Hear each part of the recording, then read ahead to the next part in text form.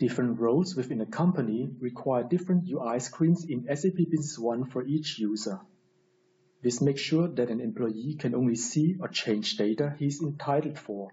And second, screens which have been optimized for specific tasks can improve user experience and productivity. As an administrator at OEC, Jason Butler is responsible for adapting the screens. In this demo, he will adapt the business partner screen for the role in sales operation. Adapting screens can cause a lot of work. Therefore, before adapting the screens, Jason checks which business functions are not used in the company. OEC Computers does not need Payment Wizard because it will not generate incoming or outgoing payments in batches, so Jason can hide the business function Payment Wizards completely.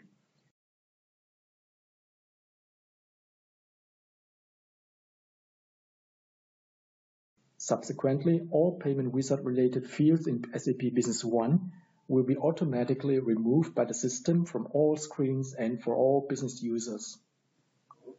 The result can be seen, for example, in the Business Partner Master Data screen. The fields Payment Block and Single Payment will disappear as well as the whole table with the payment methods. So hiding complete business functions could save a lot of screen adaptation effort beforehand. Now Jason wants to adapt the business partner screen for the daily work of Mary Heskey in sales operation. Screen adaptation can be easily done by just creating an UI configuration template for a specific role and by adding the forms which are to be edited for this role.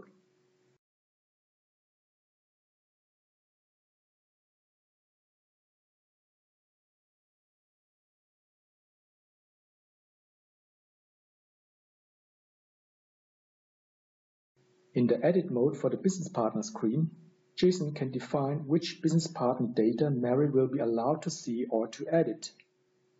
The field Business Channel Code is not relevant for sales operation at all, so Jason removes it by right mouse click and selecting Hide.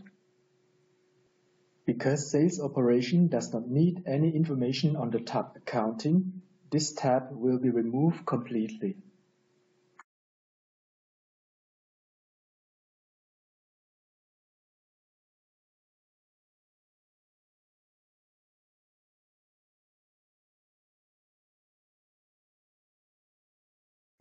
Business Partner Group is an attribute which should be displayed but not be edited by anyone from sales operation. Jason deactivates it for this role. The credit limit information under the tab Payment Terms is an important information and should be relocated to a more prominent place on the business partner screen. Therefore, Jason takes it out of the tab Payment Terms and add it on the General tab.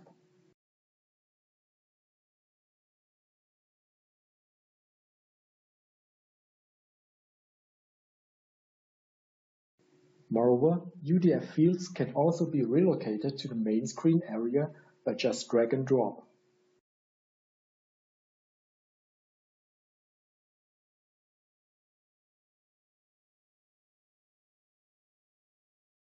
Having finished the adaptation of the business partner screen, Jason saves the changes.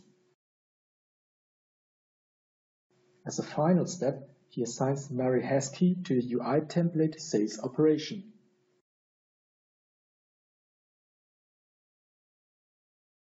Now let's check the results with Mary Heskey's login.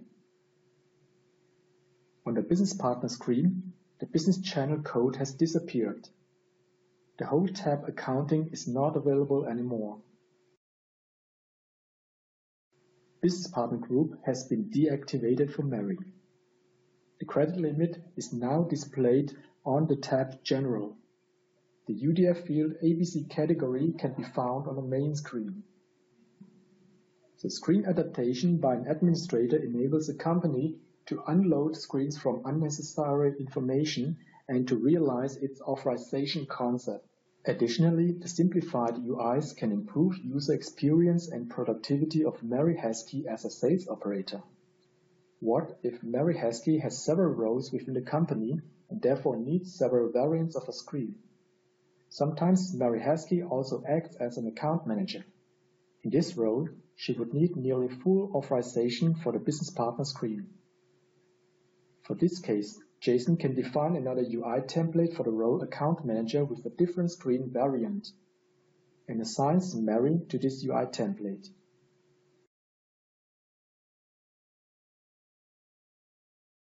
From Mary's perspective, she can simply switch between the different screen variants whenever she needs.